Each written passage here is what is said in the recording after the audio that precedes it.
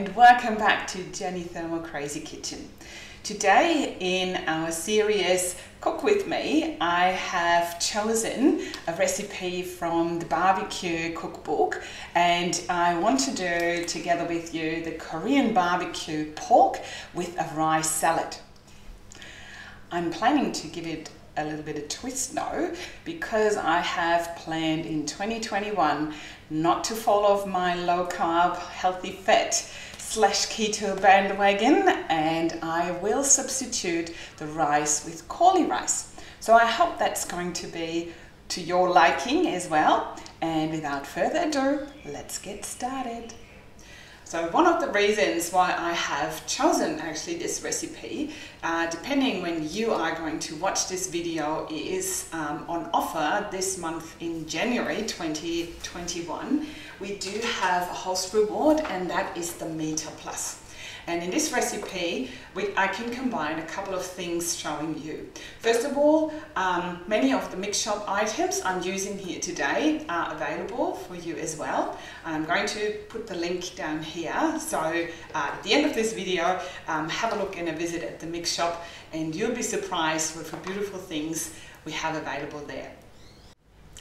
Let's swap over to the camera on my Thermomix and I show you how guided cooking on a TM6 works and using the Meater Plus as well.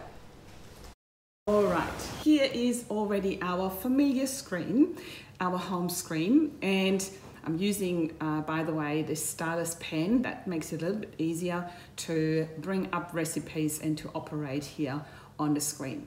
So um, I have added that recipe into my weekly meal planner and I have planned cooking that one today.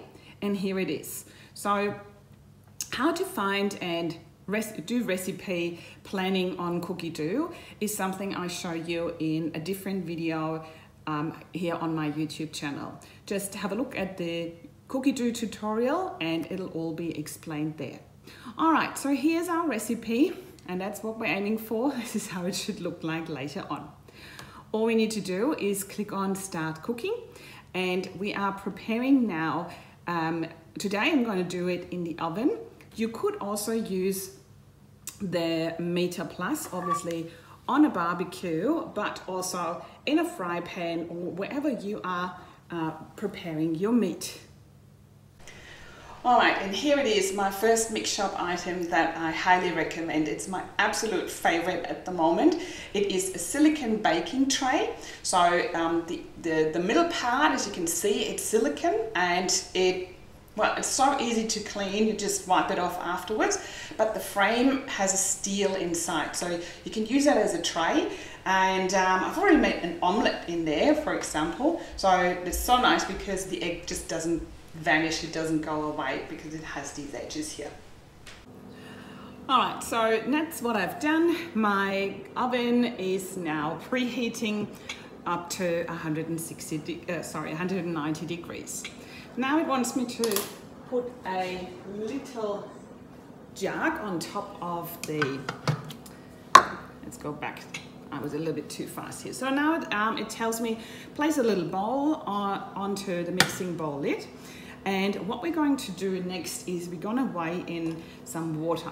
I'm going to click on next. So you can see it brings up the scales automatically and it zeroes it back. All right, so now it wants me to weigh in 40 grams of water. There we go. Wow. You can see the one gram increments there. 41, that's fine too. And clicking on next, and it wants me to add a teaspoon of corn flour. I um, use a little bit of substitute for corn flour because as I said, I want to go back to um, low carb slash keto. So I want to avoid everything that has carbs only in the slightest. So I'm going to mix that up, um, stir it a little bit with my little whisk here, um, and then we're going to set that aside for later. All right, what does it say next? We are going to place two cloves of garlic and something I've prepared earlier here. Two cloves of garlic Yep, popping them in. Next, one um, fresh, is there's a red chili trimmed and cut in, into halves and deseeded if preferred. Um, I haven't got a, a, red one today. I've using, I'm using a green one. That's absolutely to your liking and what's available. And a three piece um, fresh ginger peeled. Um, I always peel and slice my ginger and keep it in the freezer. So that was easy for me to prepare because I just took it out and I'm going to pop that in right now.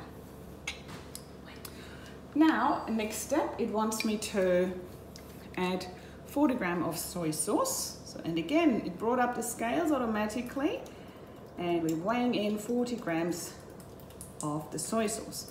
I prefer the tamari, but that's absolutely to your liking, whatever you prefer to use and what you like best. There we go. That's the 40 grams. Clicking on next and 50 grams of white rice wine vinegar. You get all of that in your normal um, shops, in the grocery shops, supermarket, in the um, in the uh, Asian food aisle. And 60 gram of soft brown sugar. Um, I'm using a substitute from Natvia, that's my favorite, and I found this brown sugar alternative. It absolutely looks like brown sugar, as you can see, and whoops, a little bit too close to the camera, and that's what I'm using today. But obviously, feel free to use um, normal sugar or brown sugar as per recipe. Again, this is completely to your liking. And next is 40 grams of water. There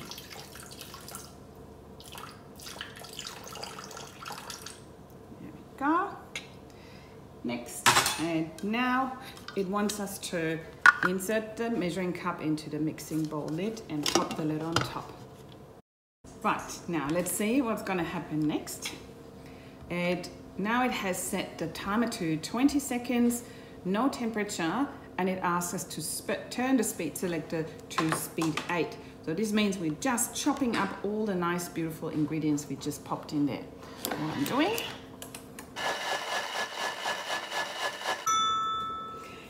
Nice. All right, so let's have a look how this looks like uh, at the inside at the moment. I need to show it in this camera. Whoops, here we go. I need to be careful so I'm not dripping it over. So that's a, a marinade that we just made. And now we'll need to go back to the screen and see what we're gonna do with this marinade. Fold back in, put the lid back on top. And now we are cooking this marinade for, 20, for two minutes on 90 degrees and says turn speed selector to speed one. And here we are, the next step has finished.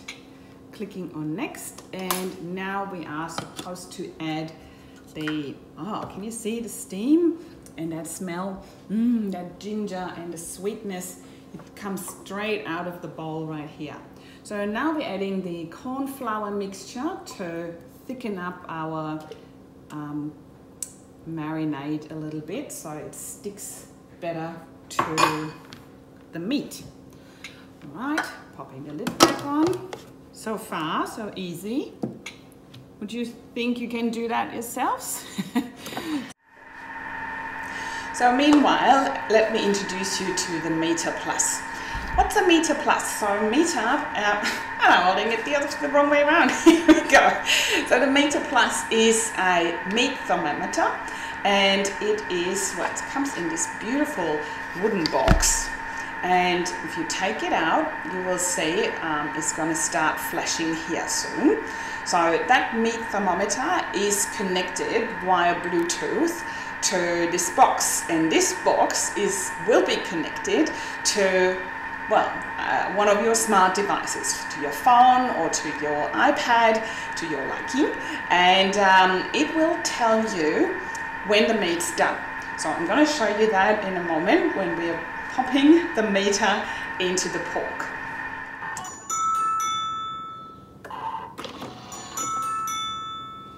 And once more, we are being called, summoned by our Thermomix back into the kitchen. And uh, now it wants us to transfer our marinade. Mm, let's have a look at that. And my kitchen smells so divine. You can see it's a lot more um, thicker than it was before. And now it wants us to transfer about 100 grams of the of the marinade into uh, into a separate bowl. And so what I've done here is I've just popped in a little dish into my Thermomix directly. And so I don't want to guess how much are 100 grams. So can you see the three dots here before the next sign? If I go on them, that's when you can bring up the scales inside a recipe. So now I can weigh in my 100 grams of the marinade right straight into the dish because the whole machine this has the built-in scales. All right, that's very, very handy. So you don't have to bring out an extra, um, extra appliance here. All right, putting that aside. Now I'm going out of my scales and back into the recipe. Now it says place a ceramic dish bowl onto or into the mixing bowl lid and weigh in the pork. All right, so we're not gonna have a ceramic one, we're gonna have a glass bowl and I've put in the, the pork already. All right, so, and now I'm pouring the rest of the marinade directly into the, onto the pork. By the way, this is an extra spatula that we also uh, um, have in the mix shop. I love them particularly because they do have a very long neck. And this way I don't go with my hands into the bowl and they're super, super sturdy. I just love them. I have them in every color. They come in charcoal, red, and this beautiful green. Right, so now I'm just coating my meat with the marinade. Now this is when I think my tray here comes in handy.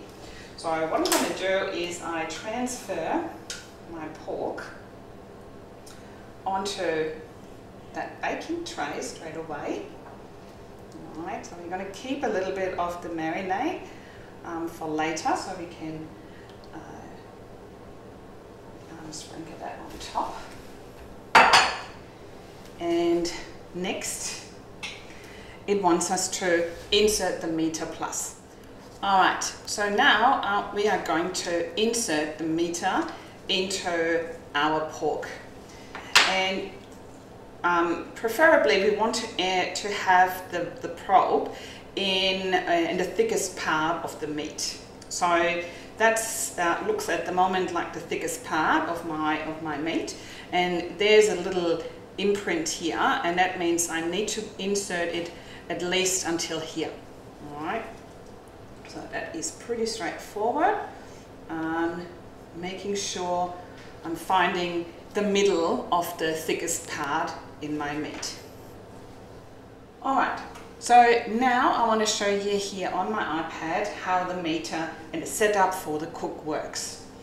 So I open up the, um, the app and now it says tap to set up a cook tapping on that. So here you can choose what do you want to cook, beef, pork, poultry, lamb, fish or other. So we want to go with the pork and um, as per instructions from the Thermomix we are going to choose the tenderloin. And here again I can choose whether I want to have it medium rare, medium, uh, medium well or well done. So I'm a little bit of um, a well done fan in this case and that's what it tells me. So it's aiming for an inside temperature of uh, 71 degrees. And that's what the Meater plus is basically estimating whilst we set up the cook. Click on start um, the cook. And, and I'm going to pop that into my oven and you're going to have a look what happens next.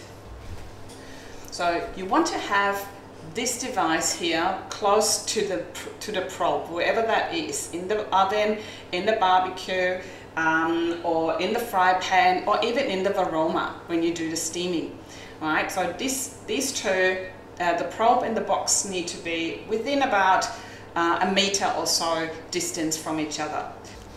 I'm showing you that a little bit closer so now you can see um, the Meater app is actually estimating the cooking time. And that will depend on a couple of different factors. So first of all, the internal temperature of your meat, depending whether you have it straight out of the fridge or if you had it set outside to reach room temperature first. Then that's the target temperature that we want. And here it also measures the ambient temperature. Good news is we can just set that aside for now and wait until the app calls us back. Similar to the Thermomix, right? All right, the next couple of steps are not very spectacular. We are just going to chop up some cabbage and, um, and some Asian greens. That's not really spectacular to look at, uh, a one second chop, but that's basically the mixture of the cabbage and the bottoms of my bok choy. And that I've just put, put that on the bottom of my salad plate. Now we're moving on. And as I said earlier, I want to make cauli rice instead of normal rice to keep it a little bit lower in carbs. Oops, that's the Meater plus um, uh, app calling me. Wow, look at that. Remove from heat. I'll do that immediately. Ooh, look at that. So here is my um, pork tenderloin and now you can see the, the probe still sticking in it and we've got some beautiful sauce coming out of the meat as well. And um, now all we need to do is keep an eye on our Meater app. So now it suggests that we are resting our pork for another three minutes. So whilst this is resting, let's quickly continue with the salad. All right, so now it asks me to place the simmering basket on top of the bowl.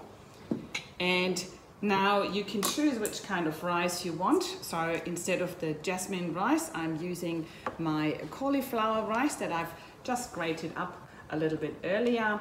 Uh, basically just the sizes of the florets that should have approximately the size of your Thermomix dial. And I'm just weighing in the 250 of the cauli rice instead. All right, here we go. So uh, this doesn't need to go uh, and rinse, but if that would have been normal rice, obviously that's what we would do. So I'm taking off the lid just to, to, uh, to, show you, that's when a lot of um, mistakes happen when, uh, when we don't pay attention. So because if I took the, because I took the lid off, my scales went into minus. So very important to press the tare button here. And now we're weighing in 900 grams of water a little bit more. Here we go. And we're adding a teaspoon of salt. And I just wing it. I'm not too fussed about that, but that's again completely to your liking. All right, now we are adding our simmering basket and I always make sure that the lid opens up towards me and that the opening does align with my handle. All right, so I can press it in. And now I'm putting the lid on top because now we are going to um, use the Varoma, set the Varoma on top. So what you can see here, that's new for the TM6. They have introduced also videos onto the screen. So here they show you how you can cut out of a piece of baking paper a Varoma sheet, so it fits into the Varoma. You water it, you wring it out, and pop it back onto the Varoma tray. But I promised you to show you my favorite mix shop items, and one of them are the Varoma sheets. They come in two different versions. One of them does have holes in it, so that goes on top of the tray and it releases more steam that can go um, through the through the varoma dish into the tray.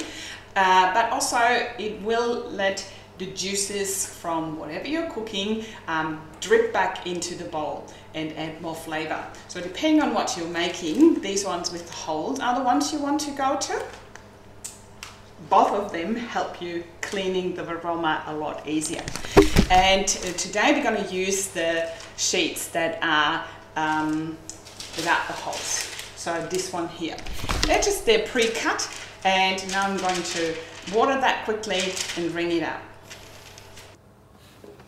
Right, let's go back to the screen and now it shows us that we should add some um, eggs, scrambled eggs on top of that. So now you can see why we don't want the ones with the holes. So these are just two lightly beaten eggs and I'm going to spread them out here on the tray. So we are going to steam uh, a little omelette for our salad whilst we are cooking our cauli rice.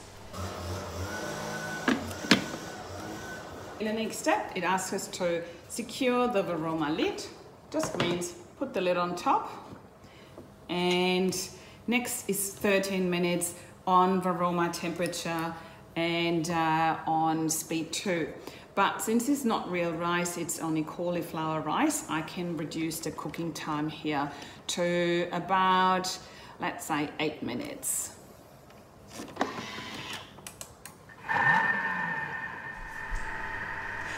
So after the resting time has finished, our app tells us basically it's ready to eat and it also wishes us happy eating. so how easy is this? So the time is up, uh, but I want to check how the cauli rice is now looking because um, my egg still needs a couple of more minutes, but I have a feeling my cauliflower is already ready to go. So here's a little trick I want to show you. Um, before I'm going to take my cauli rice out, I'm actually opening up the lid using my spatula and then I can go straight in from the front, hook it up and take it out. And yes, my cauli rice is already beautifully cooked. So that doesn't need anything longer. So I'm just going to take that away for draining. And I'm going to put my eggs up there again. So basically in total we do have the suggested time the recipe was asking for to begin with. All right, so now it's just a matter of assembling all our uh, individual ingredients together for that salad. Okay, so next step, it says put the varoma aside. We're always opening up the lid away from us. And here we go. That's what I wanted to show you. That's the steamed omelette straight out of the varoma. And that's the end result we're aiming for. Okay, so now let's start the assembly.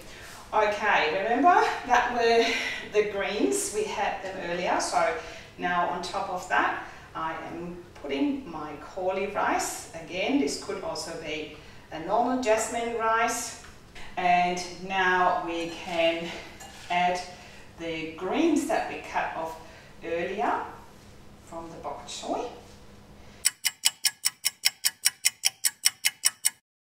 And now um, the recipe suggests that you use red capsicum and um, what was the other? Can't really remember. Uh, yeah, the fresh uh, bean sprout. So just to add a little bit of colour, I have, I'm using green capsicum today and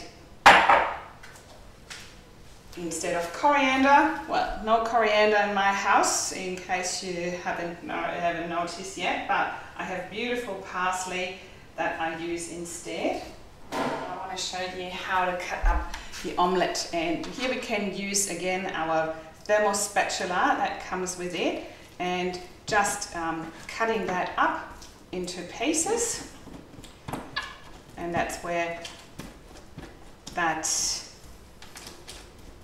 sheet comes in handy. So all the pieces um, stay on top and they don't dissolve into the holes and make it a bit harder to clean afterwards. All right, there we go.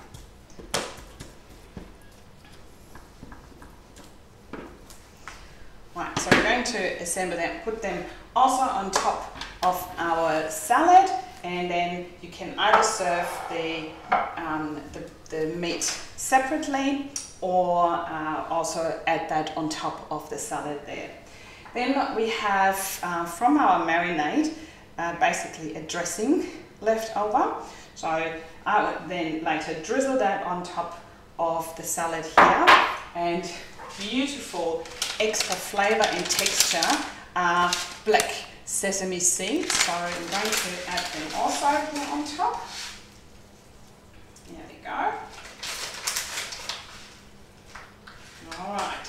So that's what I wanted to show you. I'm going to um, take a picture of the uh, finished result and I'm going to add that to this video at the end. But basically, this is what I wanted to show you how easy you can uh, combine using your Thermomix um, for the barbecue and um, how easy was it with using the Meater Plus that takes out completely the guessing game when your meat is done. All right, I hope you enjoyed today's session uh, of Cook With Me for the Korean barbecue pork with rice salad. Corley rice salad in this case. All right, enough from me for today. Thanks so much for joining. Don't forget to subscribe so you're not missing out on the next videos. Check out my channel. There's so many tips and tricks available for you for your TM5s and your TM6s and all the accessories that we are using. So I hope I see you next time.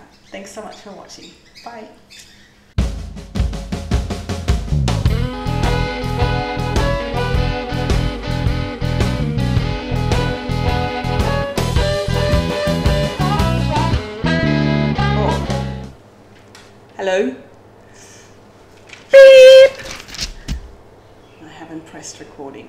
So this one is a dupe. That's my daughter Gina. You can put us in the bloopers. Blooper. I need coffee. Ah, hurry up. Cat. I just want a coffee. I need to work here. I need to be awake for work, hence the coffee.